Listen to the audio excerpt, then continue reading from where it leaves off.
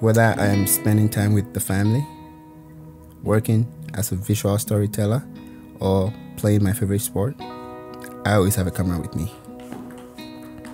Without imagination, it is impossible to create.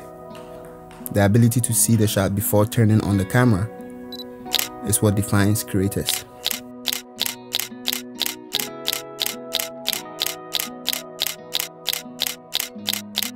With photography, I've learned to be patient, to observe, and be detail oriented. I like to go above and beyond to get the shot.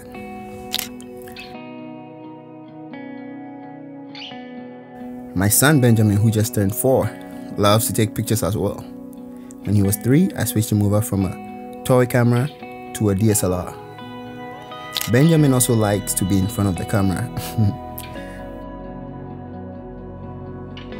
My wife Rachel is a registered dietitian, but she has learned the craft as well so that we can spend more time together on weekends. If you want to go fast, go by yourself.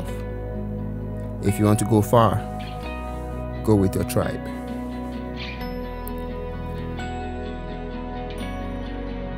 As a photo and video hybrid shooter, my weapon of choice is the Nikon Z6. The ability to switch from photo to video with a flip of a dial is very convenient to a creator like me. The reliable facial tracking, even at very shallow depths of field, allows me to concentrate on the art of storytelling and worry less about pulling focus on the lenses. I cannot talk about the things I'm passionate about without including table tennis. Growing up, there were many times this game was the only thing I looked forward to. After about a decade in the United States, I decided to start playing again. A brand new rubber sheet looks like this. And since they are mostly made in Europe and China, it was quite expensive to buy the professional grade rubbers in Ghana, so we found a way around it to cut costs. We would recycle the extra rubber pieces and assemble them with glue so that we did not have to buy another sheet for the other side. The caveat to this is that we could not use these in tournaments, but it still helped us improve in practice.